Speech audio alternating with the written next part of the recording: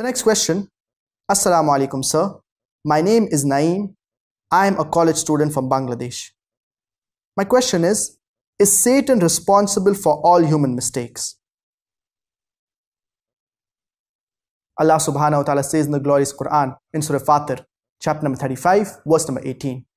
وَلَا تَزِرُ وَازِرَةٌ وِزْرَ أُخْرَى No soul shall bear the burden of another soul.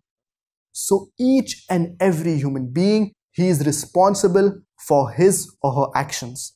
And we know the story of Iblis, wherein he was so righteous that he was raised to the levels of the angels. And when Allah subhanahu wa ta'ala commanded the angels to bow down to Adam, peace be upon him, Iblis refused. And he said that I have been created from fire and Adam has been created from clay. So I am superior to Adam, peace be upon him. So this was the moment wherein Satan, he deviated. And he asked for respite from Allah subhanahu wa ta'ala. And this is mentioned in the glorious Quran in Surah Araf, chapter number 7, verse number 14 to 17, wherein he tells Allah subhanahu wa ta'ala that give me respite till the day of judgment and I will misguide all the human beings. I will come from their front, from behind them, from their right and from their left. So Allah subhanahu wa ta'ala accepted this request of Iblis, of Satan.